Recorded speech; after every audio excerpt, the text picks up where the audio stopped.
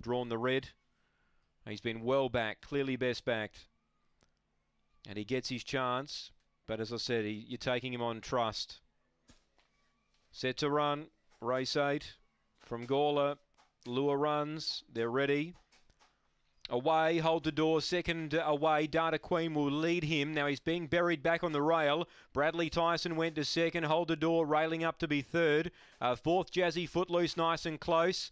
Uh, back in fifth placing, Bone Jara, Prophetess, well back, just did it. Last of all, Rebel down the back. Jazzy Footloose, three wide, moves up and hits the lead. Second, Bradley Tyson, then Data Queen. Hold the door running on, but I feel it's too late. Wider out, Prophetess, spinning the bend. In front, Jazzy Footloose. He's, uh, he's got them beat, Jazzy Footloose. One by two to Bradley Tyson. Data Queen third, Prophetess fourth. Hold the door. Yep, he's uh, finished midfield. Then came Bone Jara, Revel, and just did it last in. The winner here, too good. Number seven, Jazzy Footloose. For Ken Trowbridge.